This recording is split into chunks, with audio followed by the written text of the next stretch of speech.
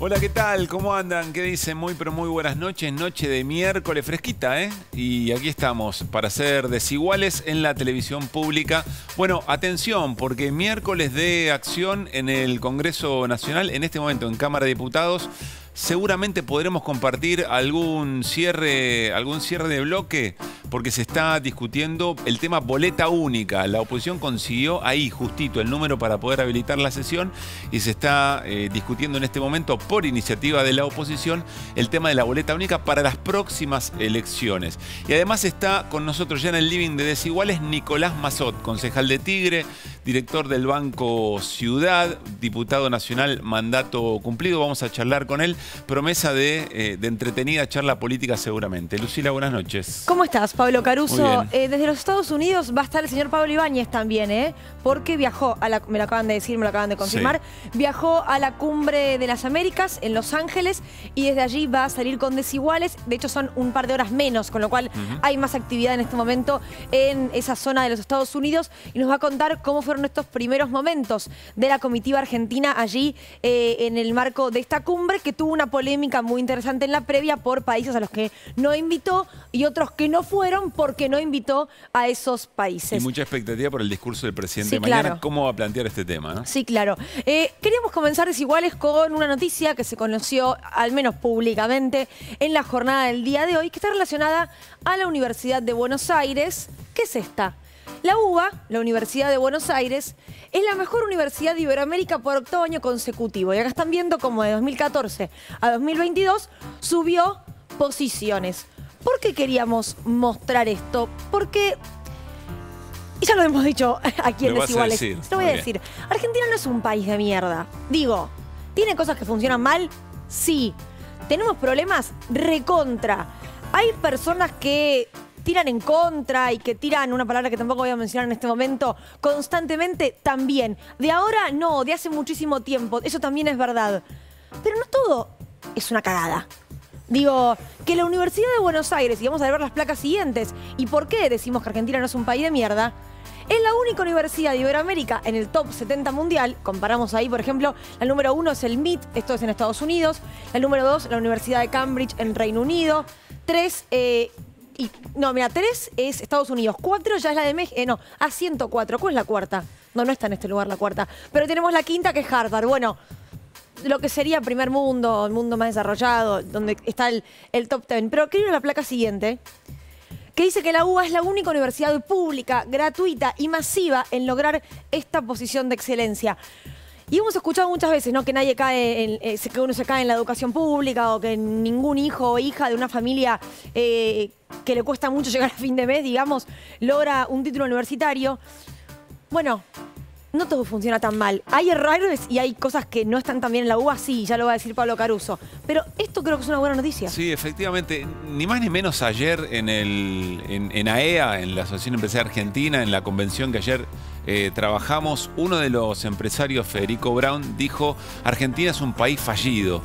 Eh, hay un tema de autoestima muy importante. La autoestima, eh, em, si tenemos buena autoestima respecto a lo que somos, por supuesto muy conscientes de lo que nos falta, es sumamente importante para poder gestar lo que viene, para poder entender cuáles son los dilemas del presente.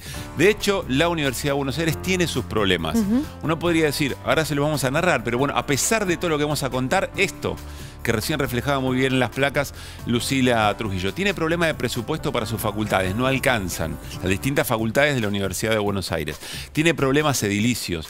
Hay problemas, eh, por ejemplo, con un centro de salud que es realmente un caso testigo, emblemático en la Argentina, pero también en el exterior, un centro de salud propio de la Universidad de Buenos Aires que en este momento no está funcionando, no tiene actividad y hay riesgo de vaciamiento bien concreto. Tiene que ver con las autoridades concretamente el rector Barbieri es el que debería tomar otra decisión respecto a este tema. Lo que estamos viendo es un eh, picadito de fútbol que organizaron docentes universitarios porque están reclamando su sueldo, su salario, eh, sobre todo que llegue por arriba de la canasta, de la canasta básica, digamos, ¿no? que marca la línea de pobreza. Es decir, hay un montón de problemas que tiene la Universidad de Buenos Aires, ahora algunos más agudizados, algunos este, mejor eh, predispuestos, pero en general de hace mucho tiempo.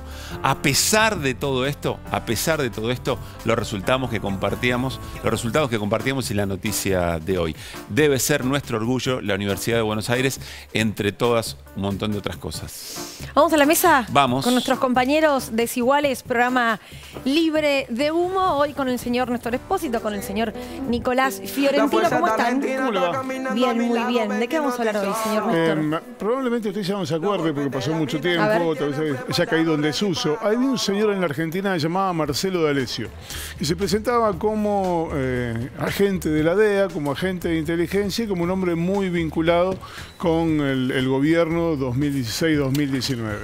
Bueno, cayó en desgracia y hoy fracasó su último intento de evitar un juicio en el que puede ser condenado a penas de hasta 10 años de prisión y llevarse a la rastra a unos cuantos personajes importantes. En un ratito lo charlamos con Néstor Espósito. ¿Qué dice Nico Fiorentino? ¿Cómo anda? Muy bien, yo los invito a que Me se queden porque... Los pitucones. Sí, me Siempre siento... uso ese saco Fiorentino. A mí Me me siento que me pone la vara muy alta. Siento que todo lo que tengo que decir tiene que ser virtuoso Y para y, usar, sí, está y bien. no, es, no, da, no da muy con mi perfil. ¿Qué va a ser? Pero es lo que hay. Se intenta. Es lo que hay. Muy bien. Eh, los invito a quedarse porque vamos a escuchar a un Mauricio Macri que creo que no estamos acostumbrados y acostumbradas a escuchar. Ayer dio un discurso en el Yacht Club de Olivos, se presentaban los equipos técnicos de- que trabajan para la candidatura presidencial de eh, Patricia De Bullrich. hecho, nuestro invitado Nicolás Mazote estuvo allí también. Ahí Sí. estuvo, ahí estuvo, le vamos a poder preguntar sobre eso.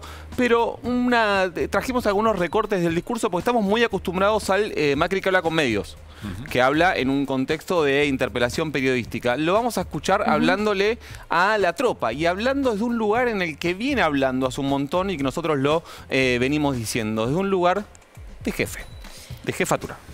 Bueno, eh, vamos allá a meternos en esto, ¿eh? pero antes eh, vamos a ir al Congreso, porque decíamos, en este momento se está debatiendo en la Cámara de Diputados, de hecho, posiblemente escuchemos algunos de los discursos de cierre durante Desiguales, pero estamos en comunicación con el diputado Hernán Pérez Araujo del Frente de Todos. Diputado, ¿cómo le va? Buenas tardes, Pablo Caruso, Luli Trujillo lo saludan. Hola, ¿cómo están? Buenas tardes. Bien, bueno, ¿en qué instancia de debate se encuentra en este momento la Cámara, eh, teniendo en cuenta que se consiguió el quórum ahí al límite hoy pasado el mediodía? Sí, muy ajustado. En este momento llevamos ya casi siete horas de sesión. Están a punto de culminar los, los discursos individuales y vamos a ir dando paso a los, a los cierres de los eh, encargados y designados de cada bloque para esa tarea. Ya creo que una horita, dos más y estaremos votando. Ahora, eh, ¿cuál es, eh, y esto de, de lo que se debate por supuesto, la importancia para Juntos por el Cambio de que esto efectivamente se convierta en ley?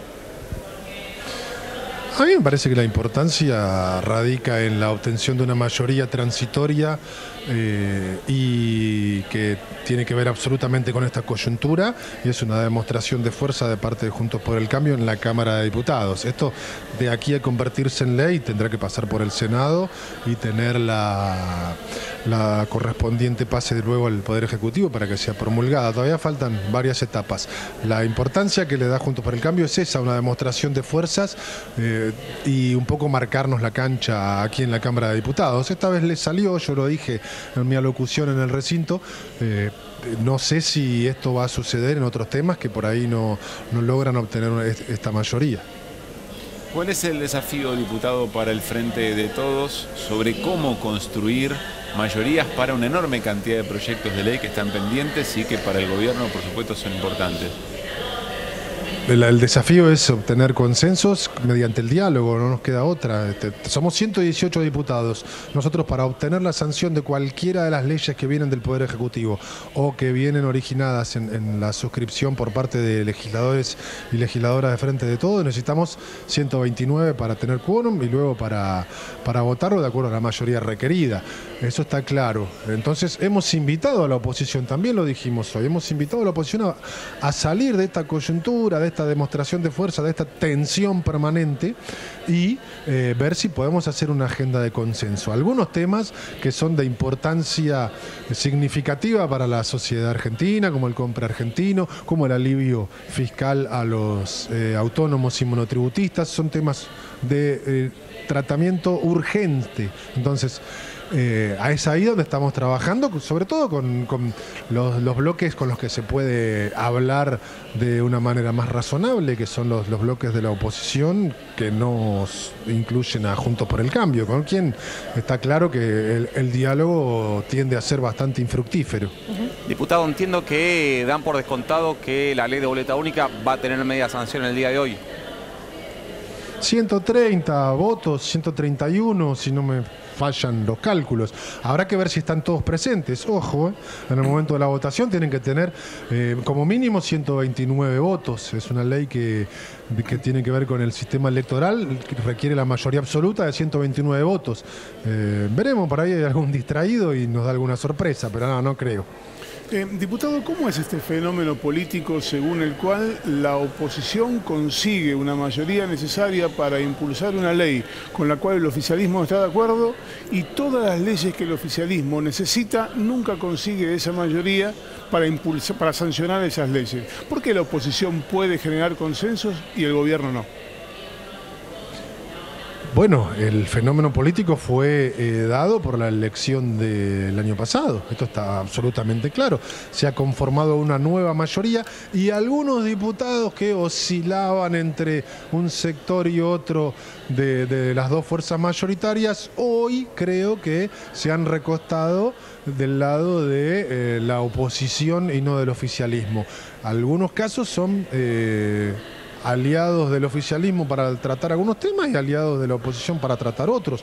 Yo no creo que los diputados de, de la gobernadora rionegrina o que los diputados de Córdoba o del socialismo de Santa Fe o de la provincia de Buenos Aires de, que comanda Topo Rodríguez estén en todos los temas a favor de Juntos por el. Cambio. Me parece que de eso se trata, de buscar consensos. Esta vez yo creo que con una mayoría muy acotada, muy escasa, para tratar un tema de una reforma electoral como la que estamos viendo, me parece que se necesitaba un consenso más amplio, pero bueno, los números a veces son tiranos, los han conseguido y eh, ahora nos tocará a nosotros eh, conseguirlos para tratar los temas que nos interesan porque le interesan a la ciudadanía.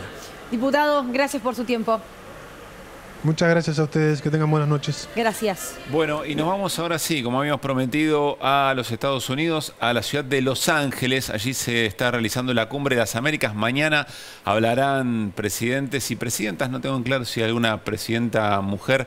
En la cumbre está nuestro compañero Pablo Ibáñez. ¿Qué haces, Pablín? ¿Cómo te va? Buenas noches.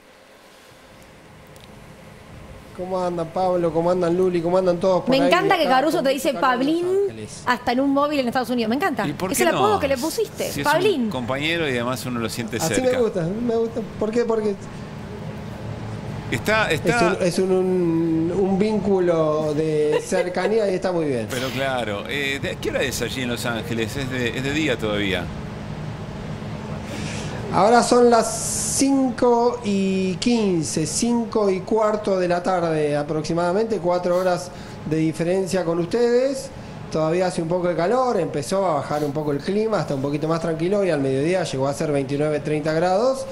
Y ya empezó la parte más eh, gruesa, con más volumen de la eh, cumbre de presidentes, porque hace digamos, media hora, 40 minutos, justamente por este caminito que van a ver por acá y este paso que se ve hacia atrás.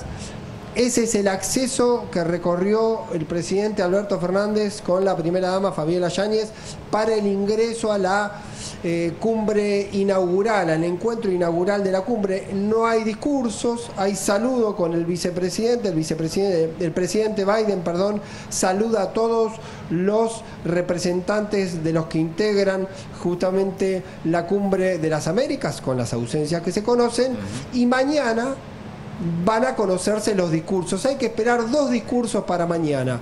El de Biden, que es el discurso inaugural, y el de Alberto Fernández, que cierra la jornada como presidente de la CEPAL. ¿Por qué es importante seguir ese dato, Pablo, Luli, los amigos que están y los compañeros? Porque justamente, la CELAC, perdón, porque justamente ahí se va a definir el tono político del discurso de Alberto Fernández como representante no solo de la Argentina, sino de, este, de esta entidad que reúne Claro. a los países de América Latina y del Caribe, y que donde hubo mucha protesta justamente porque esto es para algunos la cumbre de los excluidos.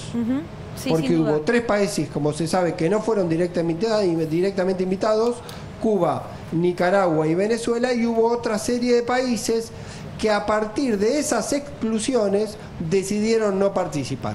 Bolivia, México, Guatemala, eh, Honduras y 14 naciones del Caribe fueron las que decidieron no participar producto de estas tres exclusiones. Ahora, eh, Pablo, por lo que sabes, ¿ese discurso va a ser en un punto la voz de los que no están o la voz de Argentina como presidente de la CELAC? Porque no es lo mismo, digo, no es lo mismo ir con reclamos particulares que hablar en nombre eh, de parte de un continente. Sí, por supuesto, Luli. eh, Alberto Fernández es las dos cosas, no se puede escindir de una o de la otra cosa. En este caso, particularmente en el discurso de mañana, va a hablar como presidente de la CELAC. Va a hablar como presidente argentino, naturalmente, pero va a exponer el planteo de la CELAC en buena medida porque los países de América Latina y el Caribe quieren expresar, más allá de que alguno lo haga individualmente, una posición general, un planteo general respecto a cómo está la relación en las Américas, específicamente con Estados Unidos. Por eso es particularmente relevante el discurso de mañana de Alberto Fernández. Y eso que vos preguntás, eso que vos preguntás, ¿en qué condición lo hace?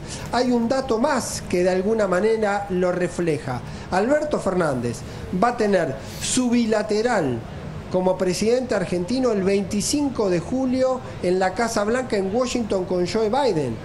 Entonces, ahí hay que entender que la posición, en este caso particular, en Los Ángeles, en la cumbre de las Américas de Alberto Fernández, tiene más que ver con su rol de portavoz de la CELAC y también de portavoz de los países que no están presentes, como decíamos, algunos porque no fueron invitados y otros porque expresaron su descontento con esa serie de exclusiones. Nicolás Fiorentino. Pablito, ¿sabes qué estoy pensando eh, en esto de que el presidente Alberto Fernández hable como presidente de la CELAC, hable en nombre de la CELAC?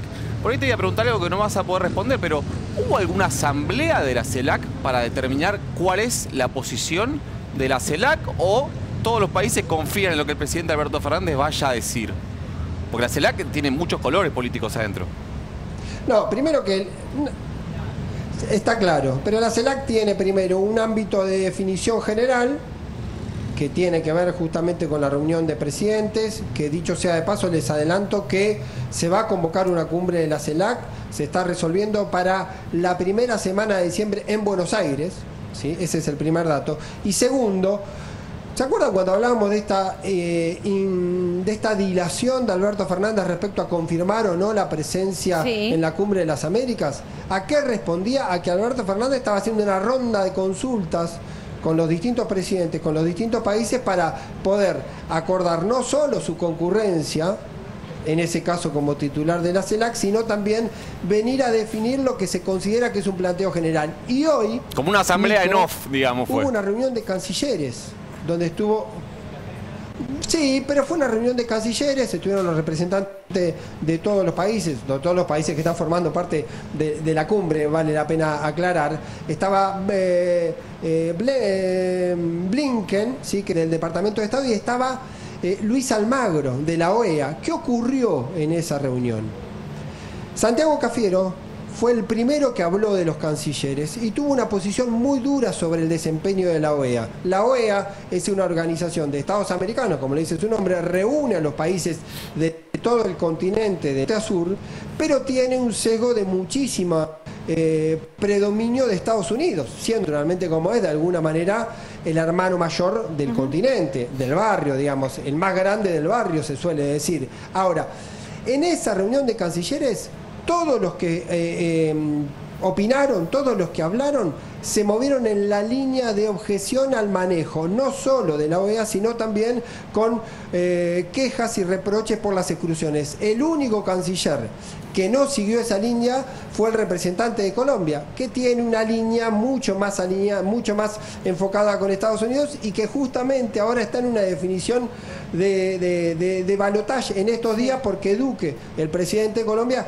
está terminando y se está definiendo en estos días nada más quién va a ser el próximo presidente. Por lo tanto, no hubo una cumbre para discutir. Sí hay contactos permanentes entre los cancilleres y los diplomáticos. Hubo una ronda de consulta de Alberto Fernández y los cancilleres han venido venido planteando esta línea. De hecho, lo hizo hace 10 días y lo hizo el lunes pasado el presidente de México también, la otra potencia eh, del bloque.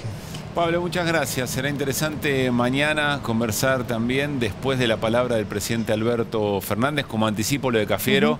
Muy fuerte, digamos, Sí. ¿no? Eh, respecto de los señalamientos de la OEA y su involucramiento en el golpe de Estado en Bolivia. Pablo, gracias, abrazo. Pablo, Luli, a todos un abrazo. Que estés abrazo. muy bien. Bueno, insistimos, ya está, está Nicolás Mazot en el living, ya vamos a ir a conversar con él. Lo invitamos a Nicolás Mazot, entre otras cosas, soy concejal de Tigre, director del Banco Ciudad, pero diputado nacional, mandato cumplido de Juntos por el Cambio, a escuchar la columna de Nico Fiorentino, que nos acaba de prometer que vamos a escuchar un Macri poco habitual. ¿Se acuerdan que hace algunas semanas eh, hice una columna contando un poco qué- en qué estaba pensando? Eh, qué, qué es lo que veía? Y traje un concepto, y ahí viene el, el- el primero de los cortes que vamos a ver, Sí. que era que estaba preocupado porque el PRO o Juntos por el Cambio ya no representaba lo nuevo. Había tenido una experiencia de gobierno, en, re- en términos de resultados económicos, sociales, fallida, podemos decir. Eh, y que estaba preocupado porque ese concepto, que era el nuevo, que era la expectativa, la novedad, la cosa que no se había visto antes, ya era una herramienta ya no la tenía. Y que eh, sentía que el riesgo, quien estaba absorbiendo ese, ese capital, eh, era Javier Milei. Eran los sectores de Bueno, eh, ultraderecha. Como, como concepto político. Exactamente. Esto dijo eh, ayer Mauricio Macri, referido puntualmente a lo nuevo en el Yacht Club de Olivos. Lo eh, recordamos en la presentación de los equipos técnicos de Patricia Bullrich. Ya claramente no somos lo nuevo, ¿no? Pues ya venimos hace unos años en, este, en esta batalla. Hay algo que nos juega en contra, ¿no? Sobre todo los que ya estamos hace muchos años en el sistema. Y ella dijo, tenemos que volver a mirar atrás, volver a acordarnos cómo éramos cuando arrancamos. Había entusiastas con bigote que hablaba que no había que ir más de concejal a millonario. El Estado no puede estar para salvar solamente a los que están dentro o cerca del Estado. ¿no? Esto es una mentira que atrapó a la Argentina hace muchas décadas y nos voy llevando a la pobreza absoluta y los que han resistido son los que también, como dijo Patricia, se protegen no confiando en el sistema porque siente que lo va a robar. Entonces digo, necesitamos volver a repasar todos, lo que estamos haciendo mucho, si realmente no tenemos que corregir algunas cosas que se nos fueron contagiando, porque es muy contagioso este sistema de la dádiva, de la repartija, ¿viste? Es algo espantoso que nos ha invadido a todos y, y creo que veníamos a cambiar eso. Entonces digo, ¿somos el cambio o no somos nada? Nico, esto que estamos escuchando no se había escuchado hasta el momento, No. porque tiene que ver con ah, una información que vos conseguiste, porque es el audio, la imagen era solamente ilustrativa. Sí, exactamente. eh, de lo que decía Mauricio Macri. Ahora, traducción, a ver si, si interpreté bien. A ver. Nos convertimos en la casta de la cabla Milei. Un poco sí. Dijo, llevamos muchos años siendo sistema, ya somos sistema, no podemos seguir diciendo que no somos sistema. Pero vos fíjate que arranca diciendo, ya no somos lo nuevo, y termina diciendo, somos el cambio o no somos nada. Por lo cual, en términos es, es complejo el escenario que plantea. Veníamos a cambiar las cosas, como en tiempo pasado. Sí, bueno, después habla de, de corregir algunos errores. El segundo corte eh, tiene que ver con em, la propia interna de Juntos por el Cambio, la convivencia de Juntos por el Cambio pre-escenario electoral del año que viene y eh, también su evaluación de qué pasó en la Argentina, adivinen en qué periodo, en los últimos 70 años. Uh, otra vez, a ver.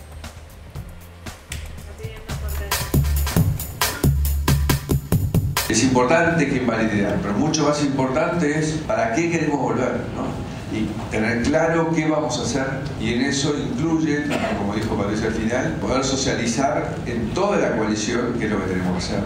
No podemos llegar como en el 15, que como la coalición arrancó en marzo y había que subir a la campaña, llegamos un día después de ganar y dice, bueno, ahora vamos, queremos ir para... todavía consenso prácticamente en gran parte de las transformaciones que había que hacer. Hay gente valiosa que se quiere sumar, hay que aprovechar la, la mayor cantidad de gente que ya estuvo, porque insisto, haber estado, todos los que estuvieron saben cuántos se quedaron cortos en el ejercicio del poder. Un karma que he tenido estos, años, lado mío, que le agradezco a Dios porque es una persona maravillosa, es el señor Quicheto y siempre me dice, vos practicaste demasiado buenismo. Bueno, eso tenemos que corregirlo y Patricia ha sido muy enfática en eso. Ya vamos a sentarnos eh, a charlar con Nicolás Mayot, pero quiero preguntarle al menos de lo que escucho hasta ahora. Por un lado, esto de, bueno, ya somos la casta política, Nicolás, dando a entender eso a Mauricio Macri. Y por el otro, si efectivamente eh, Juntos por el Cambio practicó buenismo durante su gobierno. Bueno, eh, a ver, yo creo que ahí lo más importante es eh, rescatar lo que, lo que se puede y, tratar de agregar lo que por ahí, en mi opinión, no se dijo, ¿no?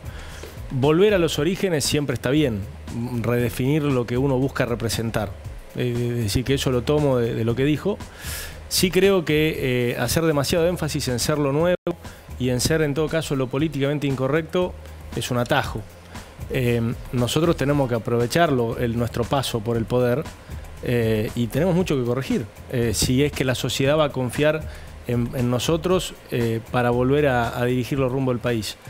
Y, a- y eso se hace desde una autocrítica. A mí lo que no me gusta de lo que acabo de escuchar es la palabra nos contagiamos, ¿no? Porque el contagio implica que en realidad el mal viene de afuera, ¿no? Como si hubiera sido otro el responsable de lo que nosotros hicimos. Eh, y en realidad fuimos nosotros La mismos. dádiva es contagiosa, dijo. Claro, pero por eso, pero más allá del, digo, eh, eh, a mí me interesa el- el- la palabra contagio, ¿no? Porque nosotros nos tenemos que hacer bien cargo de lo que nos faltó. Yo creo, por ejemplo, que hay muchísimo para reivindicar del rumbo que nosotros planteamos. Es decir, yo creo que volvería a, intentar buscar ese rumbo en muchas cosas, lo que no lo haría solo, ni lo haría buscando culpables afuera, lo haría con toda la complejidad que la situación del país eh, no- no- nos, nos pone de manera patente enfrente nuestro y es que a las claras o logramos alguna metodología de ponernos de acuerdo en el largo plazo para seguir diferenciándonos como partidos en el corto, es decir, podemos seguir discutiendo, para agarrar un ejemplo del programa, que después si quieren lo hablamos, la, eh, cómo hacemos para que la UBA esté mejor eh, en, en ese ranking, que creo que es una política que todos queremos llevar adelante. Todos, no, yo ahí, ahí ya discutí, no sé si todos, todos los argentinos no. Bueno, por ahí todos los que estamos en este piso seguro. En- sí, los que estamos acá sí. Pero, pero, eh, pero digo, podemos tener diferencias y es súper genuino que las tengamos respecto de eso, pero es bastante, eh, bastante preocupante que tengamos diferencias respecto de, que, de cuál es el origen de la inflación con la cual se financia el Estado y que nos golpea a todos por igual, o por ahí no a todos por igual, digamos. a- Algunos peor, sí, algunos mucho peor, ¿no? Entonces a mí me preocupa que no encontremos acuerdos en esas cosas. Estoy absolutamente cómodo con, con el disenso en, en- en- en las cuestiones en donde es normal tenerlo. Creo que a la Argentina lo que le falta es un liderazgo con la suficiente grandeza como para llegar con lo propio y gobernar con todos. Y no lo hemos tenido. No lo tenemos ahora y no lo hemos tenido en mucho tiempo. Hay un, hay un dato que se pierde en Yo el. seguiría repreguntando, pero hay un video más que Claro, sí. Hay, hay un dato que se pierde en el video que vimos recién que eh, básicamente, si bien todavía no dijo que va a ser candidato, ni qui- si tiene su candidato, está diciendo que quiere que gobiernen las mismas personas. Está armando el gabinete. Dijo, hay que valorar las personas que ya gobernaron, la experiencia y ver qué cosas quieren corregir de los que ya estuvieron. pero también hay una crítica muy fuerte de los que no se animaron a ir al- Sí. a la velocidad a la que se tenía que ir, ¿no? Sí, y, ahí te digo esa- otra, y ahí te digo otra cosa. Dentro de la coalición, en teoría, no se aceptaría eso. Porque la Unión Cívica Radical lo que está diciendo es, en caso de que en una interna en Juntos por el Cambio gane el candidato del PRO, nosotros queremos ser parte del gobierno, no como fue de 2015 a 2019. Bueno, en el, audio, en, la- en el video que vimos recién también dice, bueno, nosotros eh, en marzo cerramos la alianza, después vino la campaña, todo y nos desordenamos, que si bien es, real en términos concretos, hubo una paso y gobernó el pero no es que la UCR, y Nicolás lo, lo sabe porque era, era presidente del bloque del de, eh, el PRO en el Congreso, no es que la UCR fue una, un ancla que no le dejó gobernar, No, que no. le tensionó la interna, como, como puede pasar en el frente de todos ahora. Eh, era un está, está deslizando un poco, eh, desligándose un poco de responsabilidades. No queda uno más que tiene que Dale. ver justamente con la UCR, eh, así que sos tan buena conductora que lo, lo llamaste sin, sin saberlo. lo olí, lo olí. Todos los que somos integrantes del PRO no alcanzamos, ni los que son integrantes del radicalismo, del peronismo republicano, la coalición, para todos los cambios que tenemos que hacer. No tenemos nada que defender en el statu quo, porque lamentablemente somos tal vez la sociedad que ha tenido la mayor decadencia, creo que no hay ninguna otra, en estos 50, 70, donde te quieras parar. Entonces hay poco por defender a favor de continuar con las cosas que hemos hecho. Hay mucha gente que está muy mal y muchas, que por suerte no es como los testimonios que tuvimos acá, que han decidido que ya no vale la pena pelear y se han querido ir. Y eso lo vamos a detener solamente si mostramos algo que entusiasme, que, genere una convicción de que nosotros vamos a ir en el cambio en serio y con altura. Pero si decimos hacer un cambio en serio y, y en la previa nos matamos entre nosotros, ¿quién nos va a creer? O sea, la gente no es Bueno, esto se había, Sí. se había viralizado un poquito. Qué sutil la producción, ¿no? Que le, puso el pip a... Sí. Dijo Sí, pelotuda cuando tampoco. arrancamos No, y arrancó, de... la conductora arrancó, Sí. en fin. Bueno, eh, pero vuelve, vuelve Sí. a aparecer la idea de este, tenemos que ir al cambio en serio. Muy interesante lo que, lo que traes, ¿no? Se asume efectivamente como parte del statu quo y la necesidad de dar un mensaje de un cambio. Sí, de y, un- cambio y una radical. diferencia radical respecto, y no lo dije intencional, respecto a la campaña 2015. En 2015 el discurso era vamos a dejar todo lo que está bien y corregir lo que está mal. Ahora dice no hay absolutamente nada Claro. que defender en el status quo. Nada. Bien. Nada. Hay que dar vuelta a todo. Bueno, nos vamos al living, Sí. eh, la charla con Nicolás Mazot. Le vi al productor que me hable de vuelta que no lo llegué a escuchar. Yo eh, decía que Nicolás había estado en la presentación, en este acto que recién compartíamos, pero nos aclaraba que había sido invitado, pero que no estuvo, no estuvo presente. Bueno, otra vez gracias por, por estar acá, Nicolás. Recién dijiste algo muy interesante. Está claro que, eh, por lo menos eh, conceptualmente, lo que Macri eh, reconoce es que cuando Milei habla de la casta o del statu quo, se hace cargo y el riesgo o el temor de ser parte o ser visto por la sociedad como parte de ese statu quo, que es lo que hay que dejar atrás. Y vos dijiste, ojo que procurar ser lo nuevo, procurar ser el cambio no es un atajo. ¿A qué te referías? No, que me parece que nosotros, eh, digamos, no tenemos que renegar de, la experiencia que tuvimos. Eh, creo que es un activo. O sea, eh, la Argentina hasta hace algún tiempo tenía solamente un, un espacio político que tenía, por decirlo de la manera clásica, una burocracia formada. Es decir, eh, gente que realmente conociera el Estado y que supiera eh, eh, ejercer el poder en el Estado, que no es lo mismo que en cualquier otro lado, digamos, hay que entender la naturaleza de los actos administrativos, de lo que es un decreto, de lo que es una resolución, de las implicancias que tiene una ley. En un mandato de cuatro años, cuando vos llegás, como me tocó a mí, o como le tocó a mucha de la gente del gobierno anterior, que, es, que es algo bueno que se incorpore gente nueva a la política, pero digamos, invertís una cantidad de tiempo importante en, en, decir el lunfardo, en aprender a dónde, a dónde está la pelota. Y eso no hay que tirarlo a la basura. No podemos estar pensando que cada cuatro años hay que reciclar lo nuevo y el que no, el, el- el- el que no es conocido es mejor.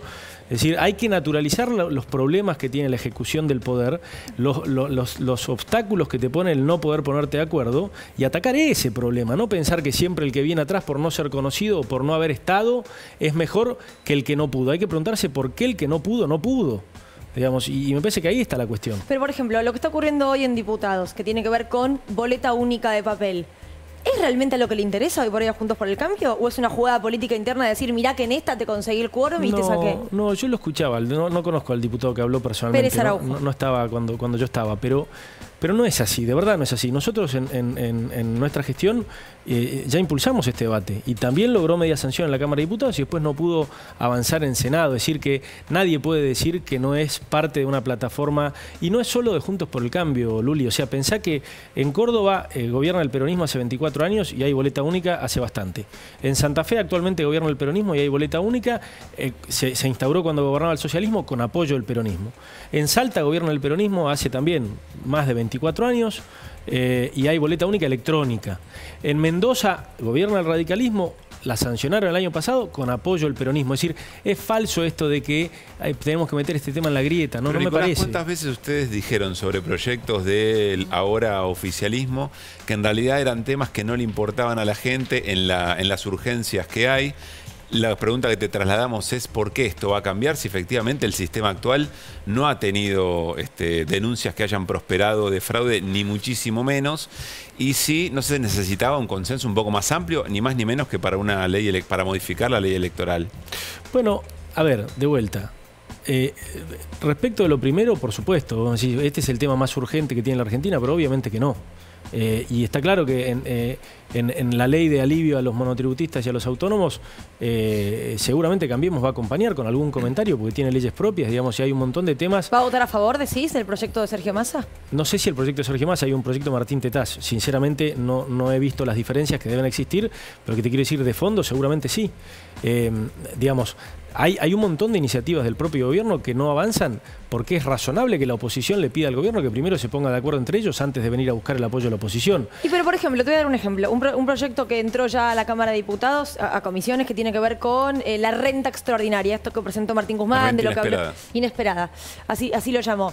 Eh, hay consenso dentro del oficialismo pa- para ese proyecto Sí, de sí, ley. En, en- en ese proyecto el Cambiemos no está de acuerdo, o en gran medida no está de acuerdo. ¿Y, y por qué? Si en ese caso sería que solamente 350 empresas, las que ganaron más de mil millones Luli, de pesos eh, Luli. en, en producto, y digo esto, no de inversión y de decir, bueno, hice más plantas, contraté más gente, que eso es algo muy lógico y muy justo, sino porque hay una guerra en Europa. ¿Por qué eso, por ejemplo, nos acompañaría? Mira, yo te voy a decir una cosa, porque en- de fondo, y esto nos puede llevar un tiempo, ¿eh? de fondo ese proyecto tiene eh, un, un sabor cultural respecto de que eh, el empresario tiene un rol casi perverso y que ganar plata está mal. Pero en Italia y en Reino Unido se votó algo muy similar, de Sí, hecho en Reino Unido Italia es y un Reino- porcentaje más alto. Mira, en Italia y en Reino Unido, por ejemplo, no tienen 80 puntos de inflación y si los tuvieran tienen sistemas para que las empresas ajusten sus balances. En Argentina, ¿Sabés 80 lo que- puntos de inflación por ahora no tenemos anual, anual, quiero Está decir. bien, estamos corriendo a más, Luli. No, ojalá no, ojalá. Espero que no. No, ojalá que yo tampoco, no, no, pero digo, y el- el- nosotros tampoco resolvimos No, el problema de la inflación. no. Yo no estoy eh, haciendo Ellos, ta- partidismo ellos con eso. también tienen récord de inflación, ¿eh? Eh, sí, eh, Pablo, A otro nivel, tienen pero es 7 un puntos de inflación, inflación. pero déjame que diga lo Sí. que voy a decir porque es respecto a las empresas. Sí. Aún en esos países, cuando la inflación crece a un nivel determinado mucho más bajo que el nuestro, las empresas pueden ajustar sus balances por inflación. Esto quiere decir que no pagan eh, alícuotas infladas producto de la inflación de impuesto a las ganancias. El impuesto a las ganancias efectivo de las empresas en la Argentina es muy superior al 35% que establece la ley. Precisamente por esto. Entonces, hay un montón, y, además otra cosa te diría, eh, hay empresas que vos no las tenés que medir por cuánto fue su ganancia en el balance anterior o en, o en- o en el balance trimestral actual. Las tenés que medir también por la, can- por la inversión que han realizado en la Argentina No, no. en años pasados. Es que decir, justamente eso es lo que se va a contemplar. Claro. Pero digo, si es, es el 1%. O sea, realmente pienso esto. Cuando hay 40% de pobreza en la Argentina, un número horroroso, cada vez que lo repito, me, me- me parece Sí. mayor aún. Pero digo, es un- son 350 empresas, un aporte de una sola vez. Sí, pero- Es difícil creer que vos no crees que los que más tienen tienen que Pero poner es que un no es un aporte una sola vez, son las mismas empresas que vienen aportando mayoritariamente desde hace mucho tiempo y es por esa razón que muchísimas de esas empresas, podemos empezar a dar nombres, empiezan a hacer cosas que hacían en la Argentina en otros países, es decir, destruyen empleo y, y- y sacan inversión. Y eso, créeme que está bastante relacionado con la práctica argentina de crearle impuestos cada seis meses. Siempre hay una buena razón, siempre. Y la mejor manera de sacar al 40% de la pobreza es con políticas sostenidas interpartidarias de generación de empleo formal. A la gente no hay que darle ni la educación este, adoctrinada en las escuelas, ni llenarle la heladera con subsidio. A la gente hay que darle laburo. Y, y eso no, no es que fracasó este gobierno eh, y yo te estoy diciendo que nosotros no. De verdad, Nico me conoce hace más tiempo, yo no vengo a partidizar estas cosas. Trato realmente de que nosotros seamos parte de una generación que, que la lidere quien la lidere, sea parte de la solución y no siga siendo parte del problema. El laburo formal se genera de manera sostenida y lo genera el sector privado. Eso es así. El, el Estado no Ni- genera empleo. Nicolás, y Nicolás, para que lo genere el sector privado, el Estado le tiene que poner reglas claras. Entonces, independientemente de que haya circunstancias extraordinarias, eh, no podés agarrarte de cada una de las situaciones extraordinarias para siempre querer financiarte de la misma manera. porque al final destruís empleo. Hay, hay una experiencia muy concreta. eh, entiendo lo que decís de no querer venir a partidizar algunas cosas, pero siempre tiene un sesgo Sí, o por una mirada ideológica que se reconoce. Y de hecho esto se puede charlar con vos porque lo, lo planteás del lado argumental, lejos de la emocionalidad que nos invade, que a veces eh, inhabilita este tipo de discusiones. Dicho esto, la práctica lo que ha demostrado es que el mayor periodo de crecimiento que ha tenido la economía, el empleo e incluso la ganancia de las empresas han sido durante las políticas de intervención del Estado de regulación de la economía. ¿Para Cuando qué, usted- qué- qué- de qué lapso estamos hablando? bueno, eh, los gobiernos kirchneristas. Cuando ustedes gobernaron, sacaron impuestos, corrieron al Estado una enorme cantidad de regulaciones y efectivamente pasó todo lo contrario. Eh, eso es muy difícil contrarrestarlo. Seguro hay peros. No, no pero en la pero, general, yo te el. Estado fue más regulador, más interventor del proceso económico durante el kirchnerismo que con ustedes y fue donde más crecieron las empresas, el empleo y donde había, donde se redujo incluso la pobreza. Bueno, mira, yo no es que te voy a poner peros, yo te voy a, te voy a, mm, te voy a tratar de describir como yo veo eh, esa parte de la historia.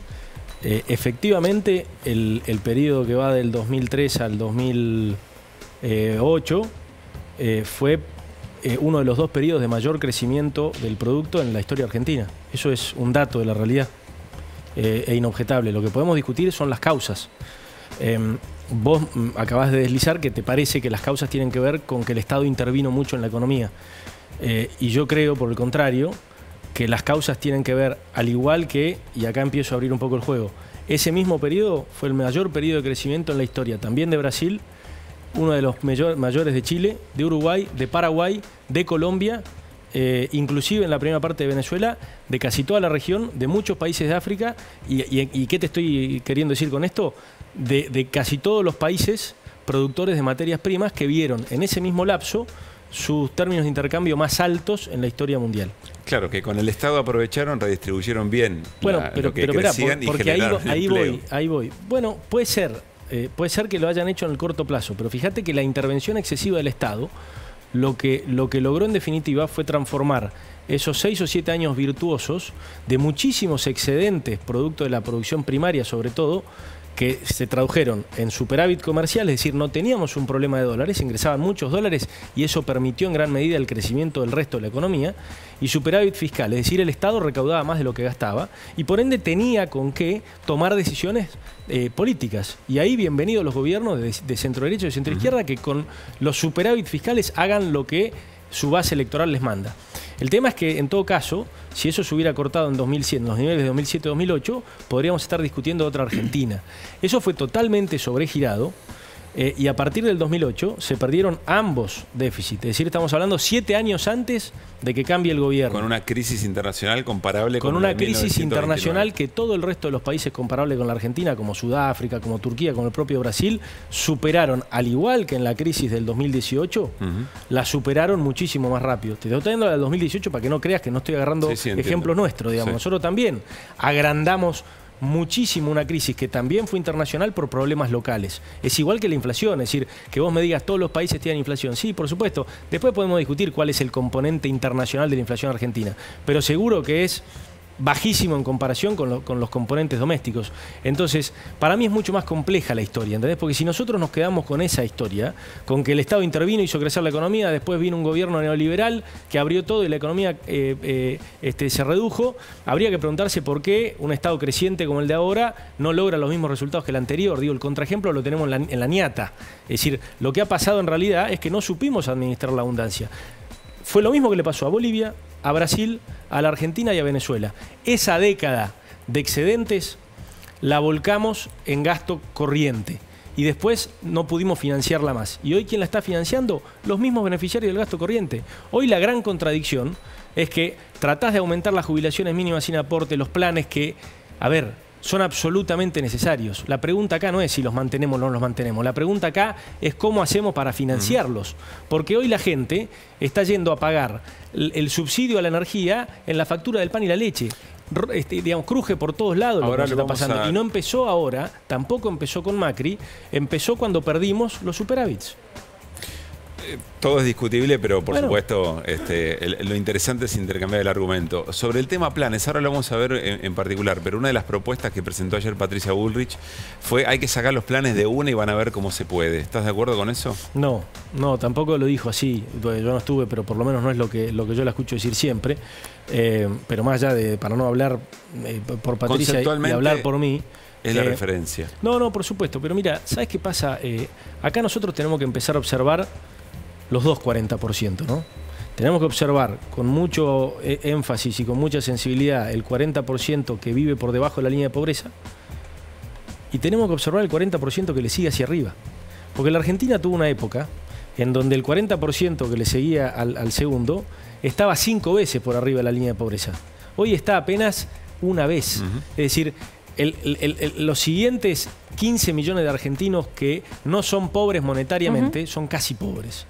Y entonces ahí hay una, hay una colisión de derechos muy fuerte, Paulo, porque, em, digamos, hay personas que con un ingreso disponible marginalmente superior a, sus vecinos, tal vez, que es lo que pasa en, en la enorme cantidad de barrios de toda la Argentina, eh, siente que, bueno, paga una cantidad de impuestos, de servicios, eh, de, tal vez aspiracionalmente paga una obra social con copago, eh, manda a sus hijos Sí. a, a un colegio público, a un colegio parroquial, lo que quieras, hace la comparación que quieras. Ahora, probablemente le cueste todavía más llenar la heladera como quiere y darle a sus hijos las oportunidades que quiere eh, que, a, que a muchos de sus vecinos. Entonces eso hay que atenderlo. Cuando vos no podés financiarlo, no hay que salir con soluciones mágicas, pero hay que atender el tema.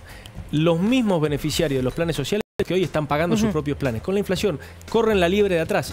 Cada vez les alcanza Sí, para igual, menos. vo- Volviendo, y tenemos que hacer un corte porque me van a matar.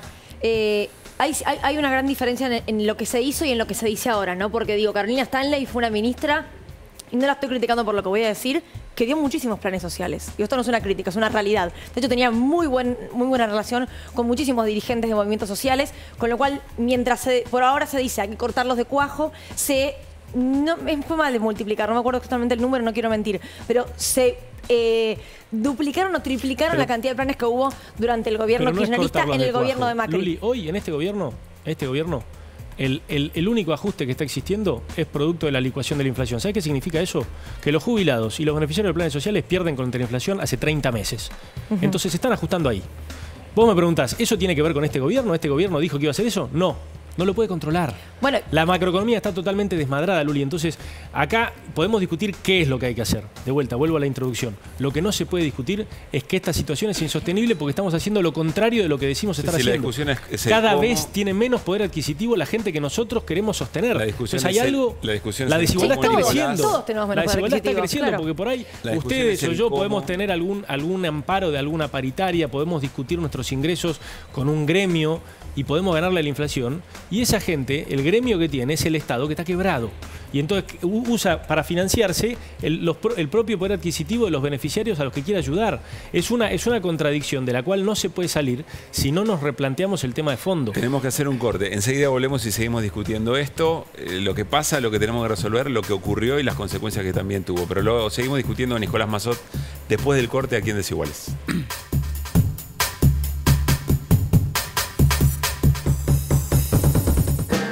Ficción argentina en la televisión pública.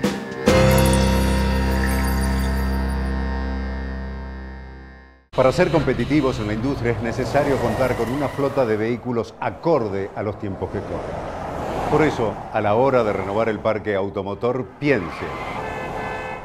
Piense solo en el especialista. Nadirán Mercado, subastas online. Fácil, fácil. Fácil, se ve fácil, ¿no? Seguridad. ¿Cómo está tratando de inflar? Y tiene que presionar acá un montón de aire. El aire ocupa espacio. Y si no sale aire, no se infla el globo.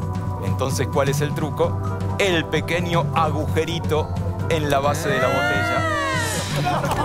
Pará, pará. Sí, sí, lo lográs, lo lográs.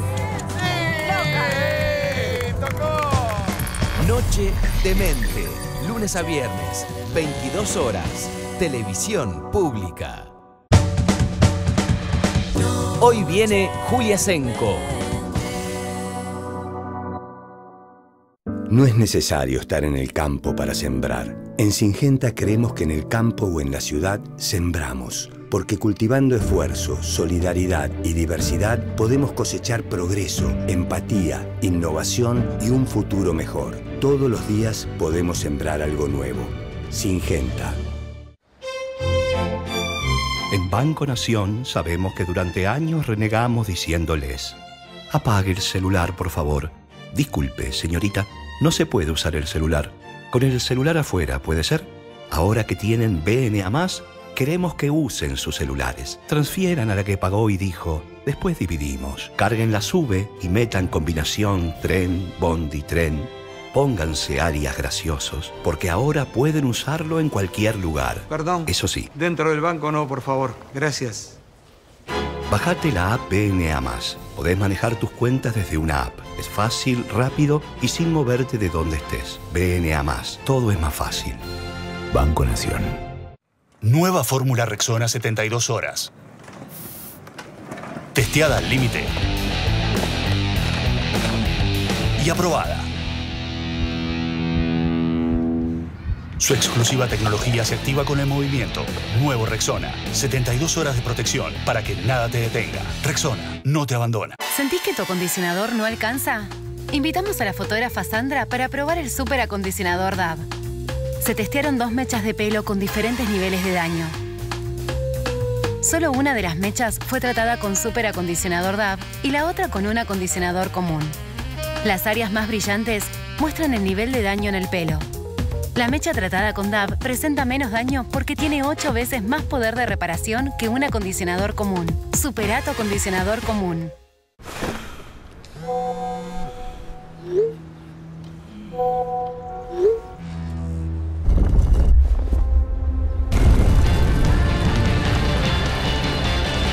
Si llegas a la ducha, podés con todo. Nuevo jabón Rexona antibacterial. Piel suave y protegida. Yo quiero cualquier vicio.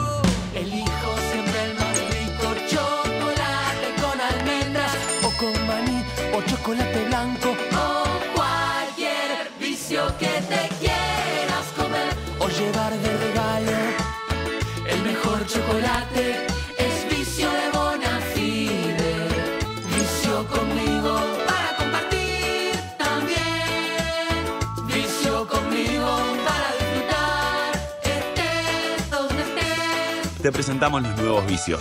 Una tableta con el más rico chocolate Bonafide. Probalos. Vamos a demostrar que rinde más es lo más. ¿Probaste rinde más? Me encantó, lo usé para un pastel de papas. Espectacular. No, no me animo, la verdad. Yo estaba igual, ¿eh? Pero lo puse en unas empanadas y quedaron de 10. Yo hice unas albóndigas que me quedaron ricasas. Son mi debilidad. La última vez me comí como 18. Le dije a mi cuñada que lo pruebe y le encantó. Resuelve la comida en dos minutos. Te olvidas de picar ajo, cebolla, todo. Con Rinde Más podés cocinar más de todo lo que te gusta. Es facilísimo. Probalo. Con Rinde Más, cocinar cuesta menos. Para ser competitivos en la industria es necesario contar con una flota de vehículos acorde a los tiempos que corren. Por eso, a la hora de renovar el parque automotor, piense. Piense solo en el especialista. Nadirán Mercado, subastas online.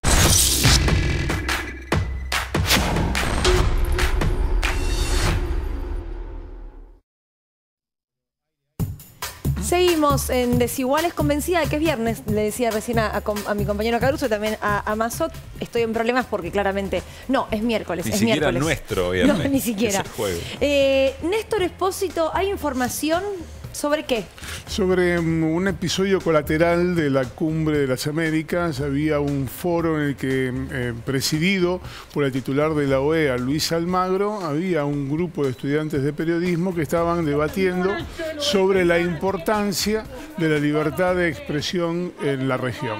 Y en ese contexto apareció esto que estás viendo en pantalla. Está subtitulado, el Sí. manifestante que está ahí es un integrante de una fuerza política que se llama Partido para el Socialismo y la Liberación.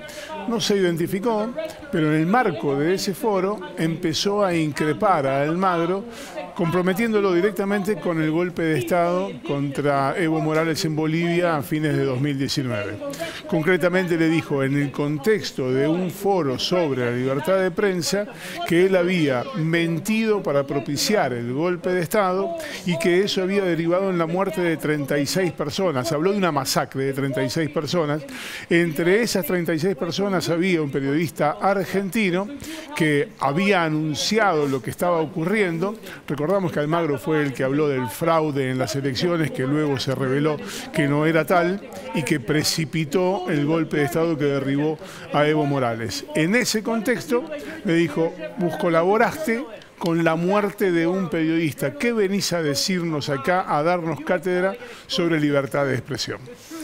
Muy bien, este es el clima que se vive allí en, en la cumbre de las Américas y alrededor de la figura de Almagro por su responsabilidad en la, en la OEA. Y vamos a hablar de D'Alessio, Néstor, también. Y vamos a hablar de D'Alessio muy cortito. Cuando D'Alessio lo allanaron y lo detuvieron, le secuestraron un teléfono celular. En ese teléfono celular, D'Alessio dio la clave, lo abrieron y se encontraron con una caja de Pandora. Fue la primera investigación por espionaje ilegal en la Argentina a gran escala.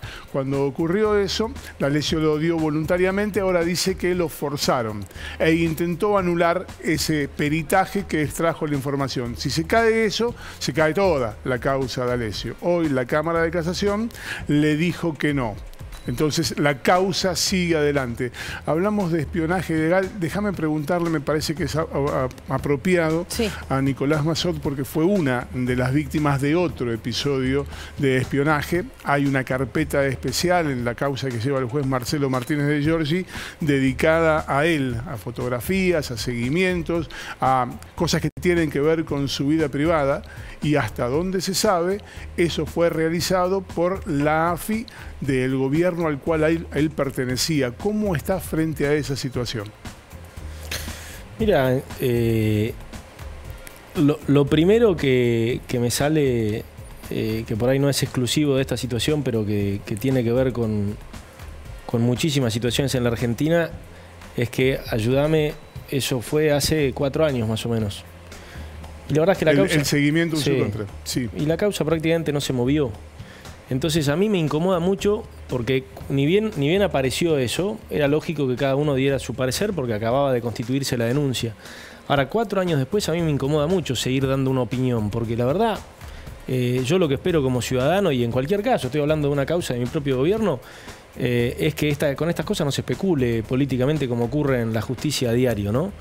Eh, obviamente que a mí, eh, que, que- y, lo, y lo digo porque incluso lo apoyaba antes de, de enterarme de todo esto, eh, yo soy de los que creen que, que la AFI hay que cerrarla, eh, que la inteligencia por supuesto tiene que seguir existiendo, pero que ese ámbito es absolutamente incorregible, que, que durante muchos años, cuando eso se logre, los coletazos van a seguir existiendo, porque ahí va a haber un montón de recurso humano probablemente capacitado en eso y eventualmente ocioso, que como pasó en otros países cuando se tomaron estas medidas, seguramente Per- se van a ver consecuencias. Ahí hay como dos, dos escenarios diferentes. El primero es que si la causa no avanza, probablemente tenga que ver con cierta manipulación de haber llevado la- el expediente, la investigación, a un lugar, a Comodoro Pi, que es un lugar amable para tapar ese tipo de cuestiones, sobre todo porque aparecen involucrados muchos de los jueces que aparecen allí.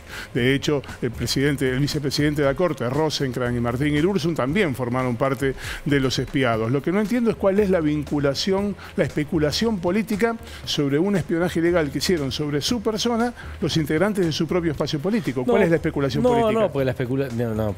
Son dos cosas separadas. Si vos querés que yo te responda eh, eso, eh, yo creo que la, no va a ser la primera vez que la CIDE, eh, eh, como, como muchos otros espacios en el Estado, no respondan o, o tengan una independencia del, del mando político. O sea, ¿crees en el cuentapropismo, como se dijo en su Creo en momento? el cuentapropismo en alguna medida, no, no, no creo que sea eh, absolutamente.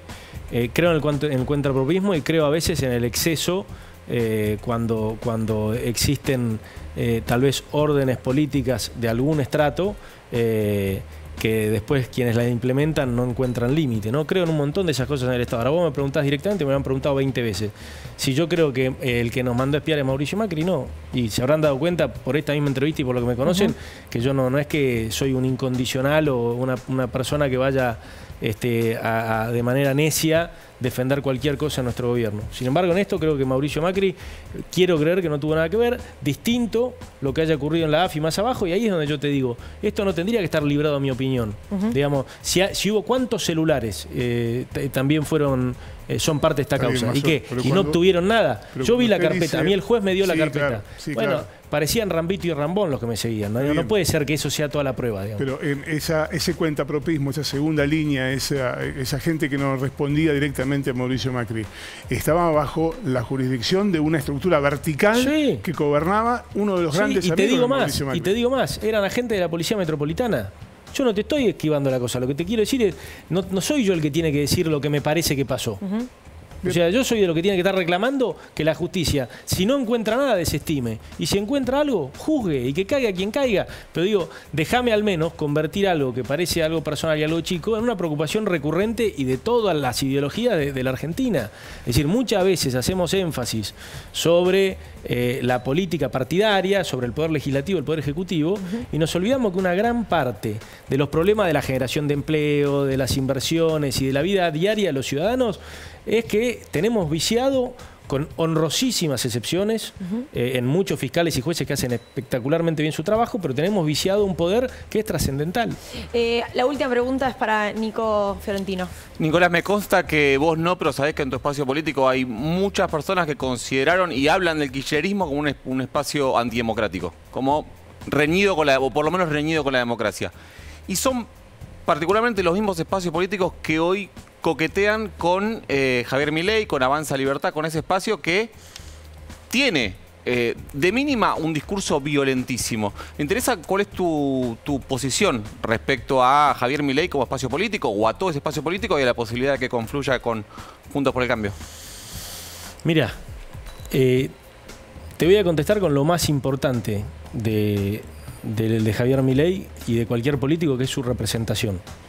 A mí no me interesa tanto, no lo conozco personalmente y no me interesa tanto si Javier Milei está acá o dónde está. A mí lo que me interesa es que mi hermano, mis vecinos o los amigos que yo conozco que consideran que Javier Milei es una opción, encuentren representación política en el espacio al que yo pertenezco. O sea, no sé si te contesto. Yo quiero representar a esa gente, con Javier Milei, sin Javier Milei, y veo buena intención y no veo ese tipo de acusaciones en un montón de la gente que lo ve a él como opción. O sea, es una interpelación directa a nosotros, al peronismo, al kirchnerismo. Es la, es la forma que toma en esta época la interpelación recurrente a una clase política que durante muchísimo tiempo no ha podido entregarle eh, bienestar ¿Te parece y, un y de violencia e incluso Absoluto, pero, absoluto. Pero yo quiero dejar de hablar de Javier Milei. Yo quiero hablar de la, de la gente que son ciudadanos argentinos con, con- con- con preocupaciones, con frustraciones y con ganas de progresar.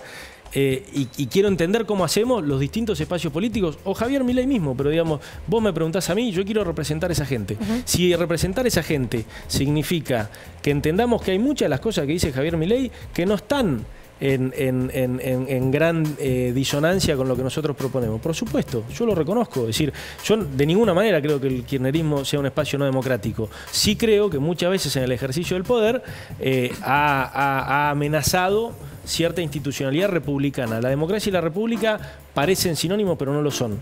Digamos, y creo que en el ejercicio del poder muchas veces eh, uno no encuentra límite y entonces sí podemos encontrar ejemplos eh, que sean muy reprochables desde lo institu- institucional, pero de ninguna manera lo primero. No tengo tiempo, pero bueno, poner dos jueces por decreto tampoco es muy republicano, que digamos, ¿no? Justo que hablábamos de la justicia, hoy, do- Comparto, perdón, esos dos jueces pero- después pasaron por el proceso Pero- correspondiente pero y son dos de los cuatro solamente que conforman la Corte Co- Suprema Comparto hoy. yo, lo, lo- lo- digamos, todo ejercicio del poder cuando no está debidamente limitado corre el peligro de excederse en, en los límites. Nadie está ex- exento de eso. Nicolás, gracias por haber venido. No, a ustedes. Gracias. Bueno, nos vamos. ¿eh? Mañana a 9 de la noche la seguimos aquí por la televisión pública Desiguales. Mañana jueves, ¿eh? Recuerden. Pasen bien.